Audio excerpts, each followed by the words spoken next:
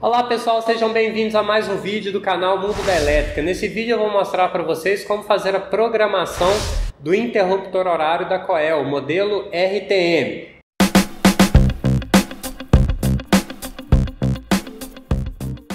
A primeira coisa que é recomendada aqui nesse interruptor horário é que seja conectado a uma fonte de tensão, ok? Esse interruptor RTM, o modelo RTM, ele não vem com bateria interna. Então, no momento que você desligar a energia elétrica, o seu relógio do interruptor ele vai ser paralisado. Temos os modelos RTQD e RTQDL que eles possuem bateria interna. Então, nesses modelos você tem a possibilidade de não interromper funcionamento dele mesmo sem a energia, ok? Sem a presença de energia elétrica, porque ele tem uma bateria interna para isso. Então, vamos alimentar o nosso interruptor horário nos bornes 1 e 2 vai ser bornes da nossa alimentação, vou alimentar ele com 220 volts. Então vou conectar aqui os meus cabos de alimentação. Alimentei aqui meu interruptor com os cabos de alimentação. Vou ligar eles na tensão de 220. A bobina desse interruptor é para 220 volts. É bem baixinho, mas se você chegar perto dele, você vai escutar o relógio dele já funcionando. O que, que acontece, pessoal? A primeira coisa que a gente tem que fazer é acertar o relógio dele, ok? O relógio dele é analógico. Como que vai ser isso? A gente tem uma seta aqui que é uma seta de referência. Essa seta de referência, ela vai mostrar pra gente é, se eu estou no período da manhã ou no período da tarde. Nesse momento são nove e meia da manhã. Então eu vou girar sempre o meu disco de programação no sentido horário. E aí vocês vão ver que o reloginho ele vai girando. E aí eu vou programar ele para 9 horas. Aqui, ó, cheguei no 9 horas da manhã aqui, ó. E cada fração representa 15 minutos. Então 9 e meia vai dar mais ou menos aqui, ó. OK? Passou um pouquinho.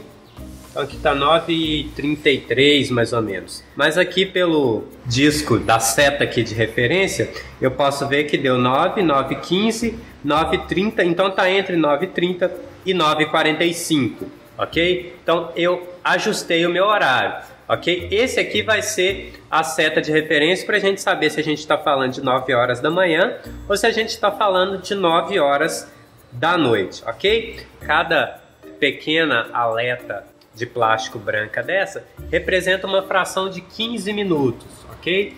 E aí eu posso programar o meu interruptor de acordo com essas aletas. Suponhamos que eu queira que esse interruptor ligue às 10 da manhã e fique até às 11, por exemplo. Então eu vou vir aqui na aleta é, referente ao número 10 aqui e vou jogar ela para trás, ok? Você pode pegar mais de uma de uma vez, não tem problema.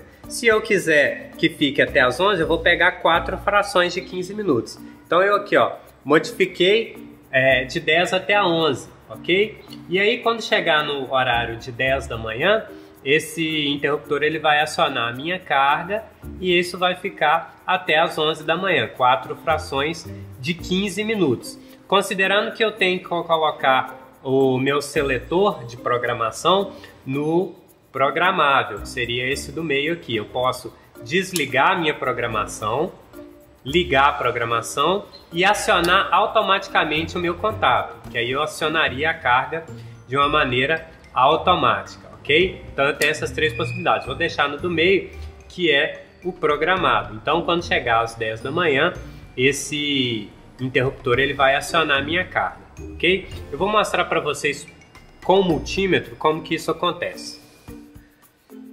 Tá aqui com o meu multímetro.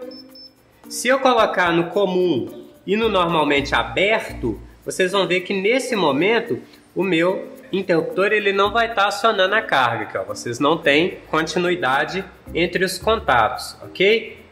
Ele ainda não chegou em 10 horas. Eu vou adiantar um pouquinho o relógio e vocês vão ver que a carga ela vai ser acionada quando chegar em 10 da manhã. Ó podem dar uma olhada aqui no relógio. Quando chegar em 10 da manhã, o meu contato vai ser comutado. Ele já acionou aqui. Ok? E ele está programado até as 11 da manhã. Então eu vou girando aqui, ó. A minha referência é a seta. Eu continuo girando aqui para mostrar para vocês. Quando chegar em 11 da manhã, ele desliga, ok? Isso eu posso fazer qualquer programação. Suponhamos, eu quero que ele acione às 13 e desacione às 15. Então vou pegar aqui, vou abrir os meus cavaletes referente de 13 até 15. Então a minha carga ela vai acionar às 13 e desacionar às 15. Quando chegar, olha lá, está aproximando das 13 horas, a gente pega pela referência da seta. Quando chegar em 13 horas,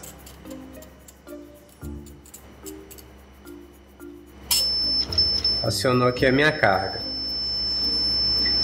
E aí quando chegar em 15 horas,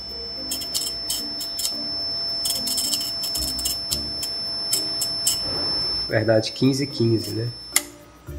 Ele desaciona a minha carga. Então, ele é um interruptor de simples programação. Vocês podem perceber também, se eu é, colocar os meus contatos aqui no comum e no normalmente aberto e acionar minha programação manualmente aqui, ó, ele já fecha os contatos independente de programação. Minha carga ela vai ficar acionada independente de programação. E nessa posição zero, ele desliga a minha programação. Independente de programação, a minha carga não vai ser ligada. Então, nesse caso, para mim poder deixar a minha programação acionada, eu tenho que deixar é, a chave seletora sempre na posição do meio. E aí quando chegar no horário programado, ele comuta o contato, conta-se o tempo programado e ele desaciona. Então esse interruptor horário, ele trabalha com o sistema de frações de 15 minutos e ele trabalha com programação diária. Eu não consigo programar o dia da semana. Eu consigo programar o horário durante o dia. Então esse tipo, esse interruptor modelo RTM, ele vai ser usado diariamente, ok? Todos os dias, no horário programado, a minha carga vai ser acionada. Esse tipo de interruptor horário, ele é muito utilizado em cargas como, por exemplo, bombas. Tem que acionar minha bomba é, todos os dias no mesmo horário para puxar água do poço, né? É, acionamento de aquário, bomba de aquário, é, acionamento de freezer. Então já usei é, esse interruptor em sistemas de iluminação, ele é bastante usado. Né? Tem que acionar o, um sistema de iluminação é, em determinado horário e desacionar em determinado, em determinado horário. Então esse interruptor horário ele é bem usado nessas situações. E se tiver gostado do nosso vídeo, pessoal, curte, comente e compartilhe. Se é a primeira vez que você está nos assistindo, não deixe de se inscrever e receber as nossas atualizações.